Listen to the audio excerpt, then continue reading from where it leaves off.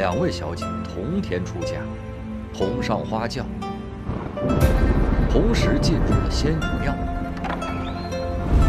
缘分之事真是妙不可言啊！嗯，有缘有缘，你就是天上的大雁，我就是水里的鸭子。才不要嫁给那个狗头将军袁不屈呢，他已经娶了两位夫人了，而我给一个活不了多久的病秧子冲喜。姐姐，我们同病相怜。不好鸳鸯戏也没死。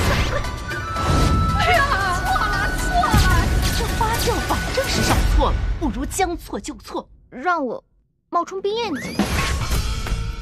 对扬州来的大家闺秀，怎会是如此打扮？怎样？哎，我就咚咚咚咚咚。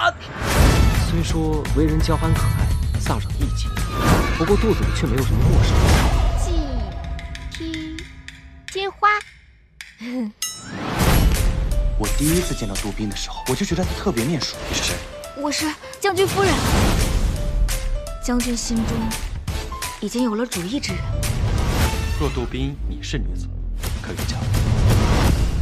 我冰燕姐姐可是天上的仙女，她才看不上爱舞刀弄枪的大将军。那你喜欢拳脚功夫，不也让我心心念念吗？这世间男女情爱，最是最多都是上天注定。这世间的缘分，还真的是奇妙。